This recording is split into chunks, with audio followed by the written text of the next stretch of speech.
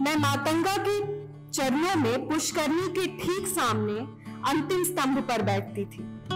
उत्तर पश्चिम दिशा में अच्युत राय मंदिर की तरफ़ ताकते हुए कई सहेलियाँ दिखती। किसी ने मात्र मोतियों की माला पहनी, किसी ने सिल्क के परिधान में खुद को व्यर्थ ही छिपाने का प्रयत्न किया, और किसी के नग्न शरीर को किसी सुसज्जा की आवश्यकता नहीं थी। और आधे किलोमीटर तक बस सहेलियाँ ही दिखती। उत्तर में विठल मंदिर में आरती की घंटियाँ सुनाई पड़ती।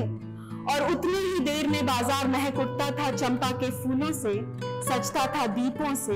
मैं घुंघरू बाँध नग्न शरीर और नृत्य मुद्राओं से आकृष्ट करती थी ग्राहकों को।